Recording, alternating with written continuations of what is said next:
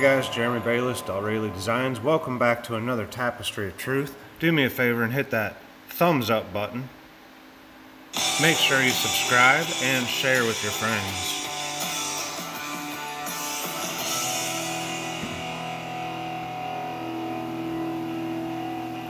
Today we're going to be going over pretty much signs and symbols. Uh, I found some pretty interesting stuff for you guys today. Uh, we're going to start out as always, you know, want to follow God's commandments. Um, today, according to the Jews, is Sabbath. According to the uh, Gregorian calendar, Saturday is Sabbath. Uh, if you follow the lunar, sol lunar solar calendar, then actually Sundays this month are the Sabbath.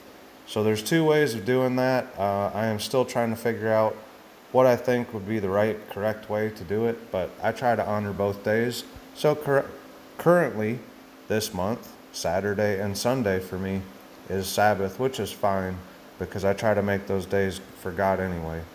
Um, guys, the, the most important part is it's coming from your heart. So uh, the Sabbath was changed in March 7th, 321 and it was changed by Roman Emperor Constantine I when he issued a civil decree making Sunday a day of rest from labor, stating, All judges and city people and the craftsmen shall rest upon the venerable day of the sun.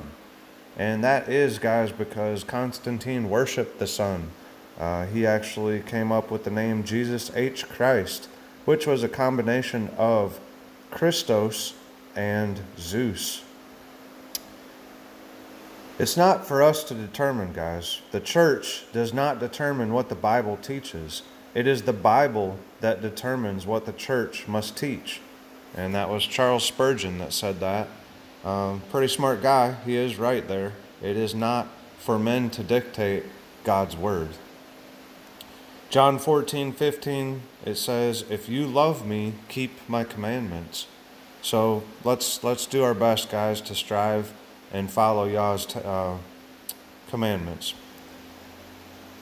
I I just like this um, picture. This wasn't something that I made up. Um, a lot of the images that I use are just inspiring or show what's going on. Uh, this is showing, you know, where children become what you pour into them. And it's our choice whether we pour love or hate.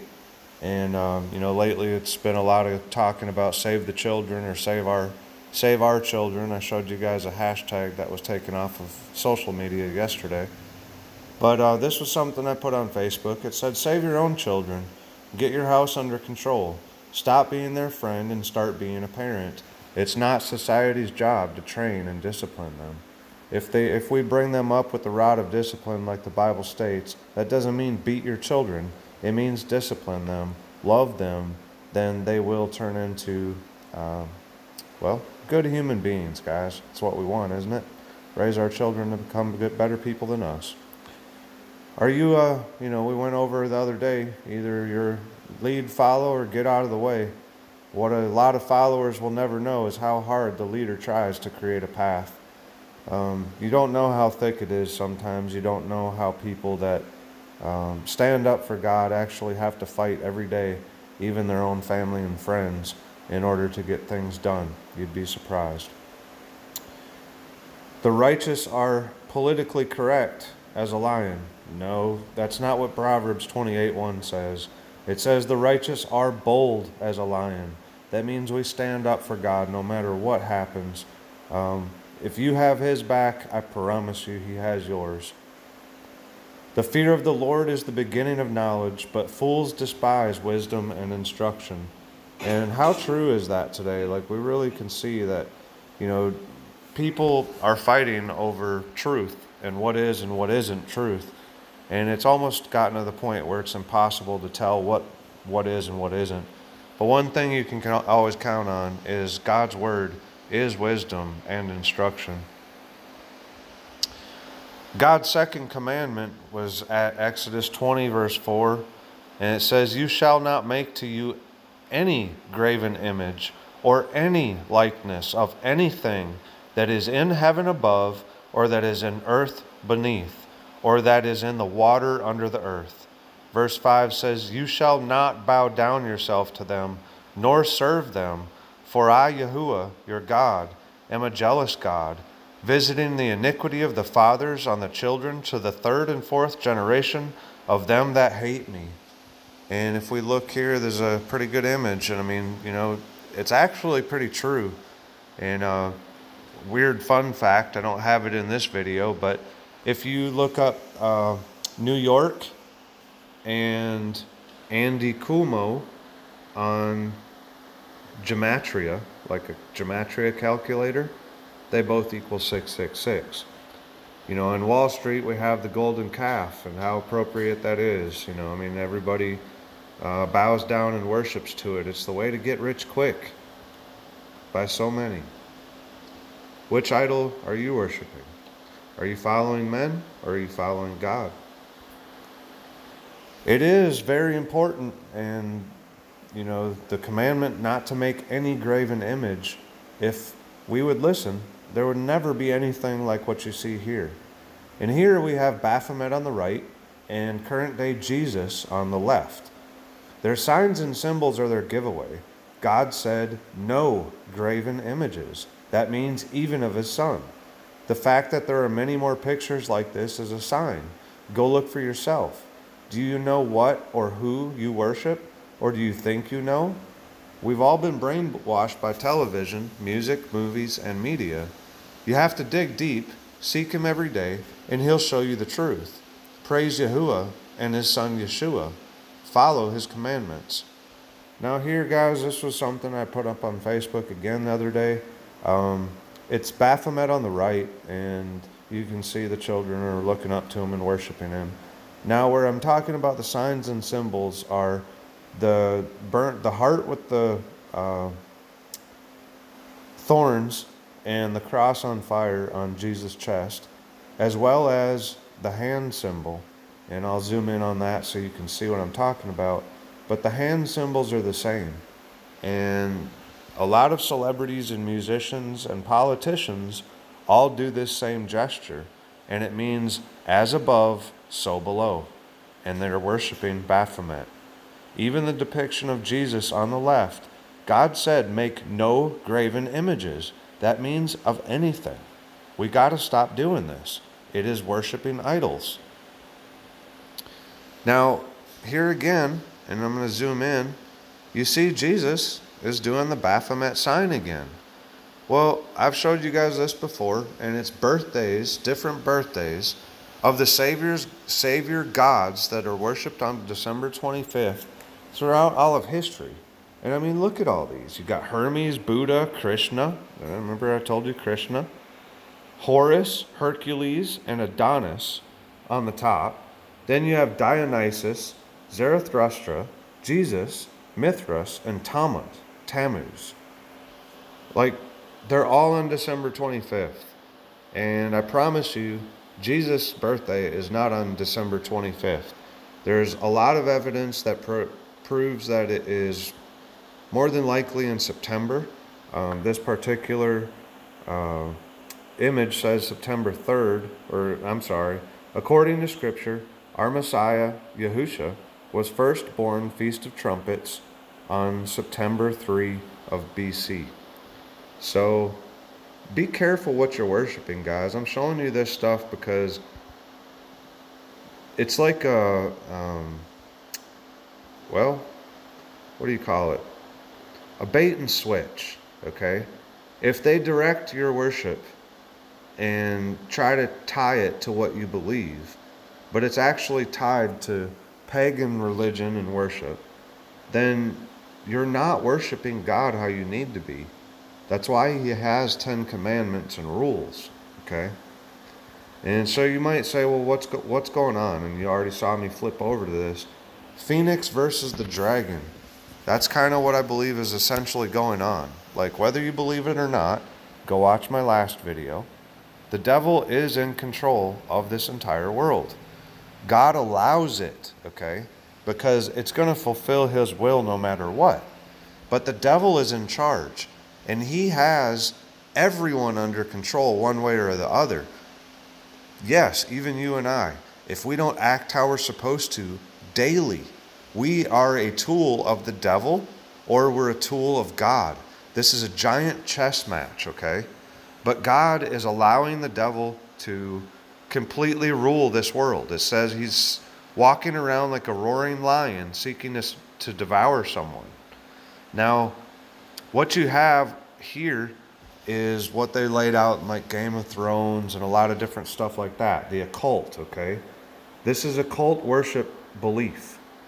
And they have Order of the Phoenix versus Order of the Dragon or the Golden Dawn. And you may have seen other things that I've posted about that before. So they at many times go head to head in battle and there's a lot of times it's like Game of Thrones. They have alliances of families and all this different things, but they all are going to kill each other. That's what happens. That's what the children's seed do. The devil's seed rather. They just want to kill everybody. It's, you know, it happened from uh, Cain until present day. So I'm going to show you some stuff now, all right? Like I said, we have Dragon versus the Phoenix. The Phoenix was in charge. Many believe that was Lucifer.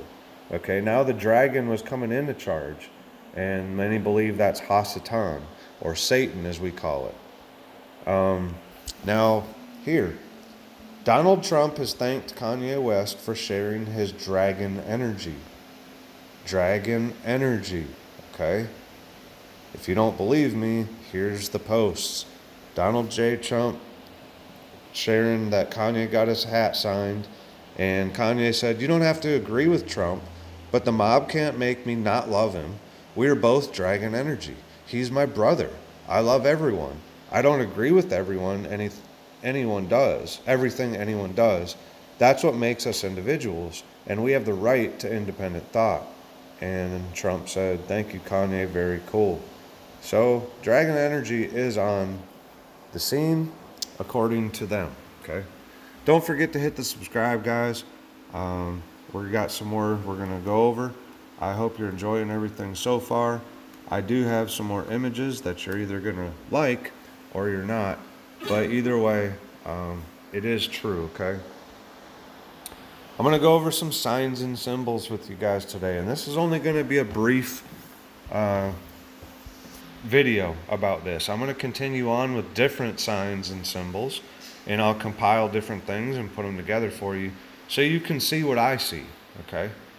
Revelation 16:13 says, "And I saw three unclean spirits like frogs come out of the mouth of the dragon, and out of the mouth of the beast, and out of the mouth of the false prophet." And here we have a nice frog in one of the protests uh, with his 666 hand symbol. And if you see it, the round part, I mean, you can see it, six, six, six. That's why they do the three fingers up.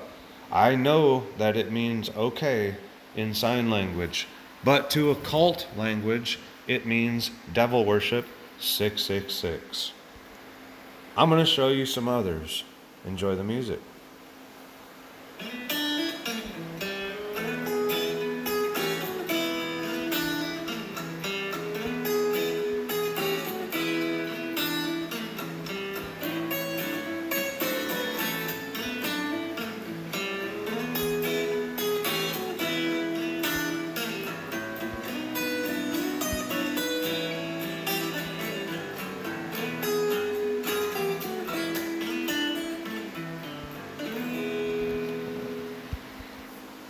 Stop here for a second.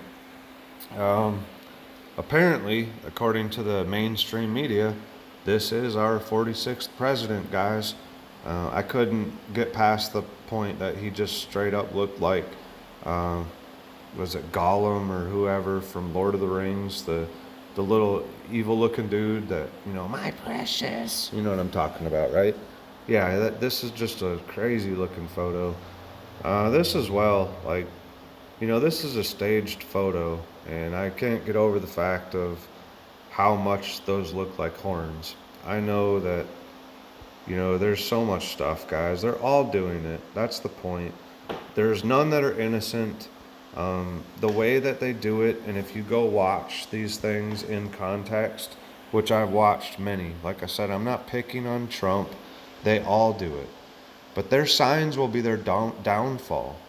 I guess he just thinks everything is okay, right?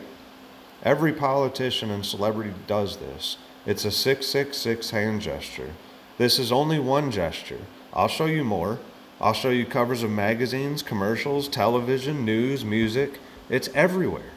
If you think I'm picking on Trump, I'm not. They all do it. And let's check out the Black Eye Club. Oh, whoa. Look at all this, okay? It is certainly a dangerous day in Hollywood and politics, isn't it? I mean, I understand some of these people could possibly have a black eye. I honestly couldn't tell you the last time I have had a black eye. It's been a long, long time. But who's beating all these people up? Like, who's punching them? Go check out and look up the Black Eyed Club on Google. I would recommend that you pray first. You're going to find information that you might like, but it's pretty scary. Well, that's all, folks. That's all I got for you. That, that, that, that, that's all, folks. Or is it? Well, if you're local here in Alabama, we've got a little uh, update the other day. Alabama cuts COVID deaths with no underlying conditions from 130 to 13. A change in criteria used to determine some coronavirus deaths in Alabama has lowered that count by more than 100. Data from the Alabama Department of Public Health now shows 13 of the state's 2,914 COVID 19 deaths were among people with no underlying health conditions. The age range for those deaths is 53 to 88, with a median age of 73. Well, guys, you be the judge. I've told you masks are uh, marks of slavery, they are marks of war, according to them. And that is this time all I have for you folks. Until next time, stay tuned, hit the like button, hit the subscribe, and don't forget to share with your friends and family.